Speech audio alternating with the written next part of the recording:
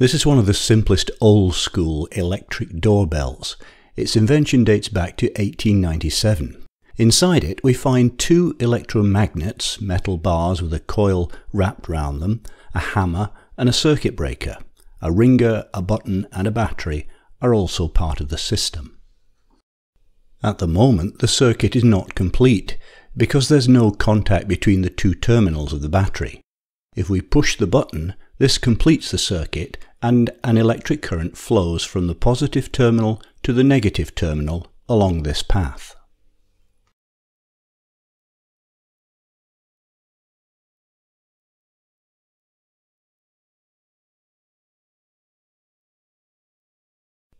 When current passes through the coils, the electromagnets are magnetized and start to attract the hammer.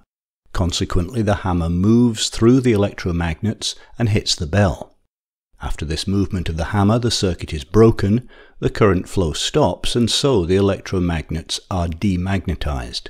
The hammer returns to its original position, and the circuit once again is completed.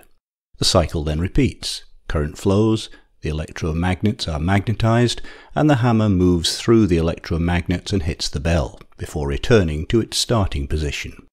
The hammer continues to move, causing the bell to ring for as long as we press and hold the button. Electromagnets are a type of magnet in which the magnetic field is produced by an electric current. As in the doorbell, if we wound a ferromagnetic material such as iron, nickel or cobalt with wire and connected the ends of the wire to a battery, we'd create an electromagnet.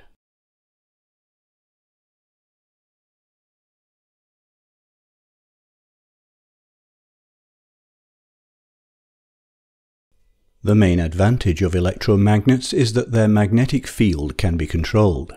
Whenever we want a magnetic field, we just need to make a current flow through the wire. If we increase the number of loops of wire around the metal core, or increase the current, we get a stronger magnetic field, so we can adjust the field strength.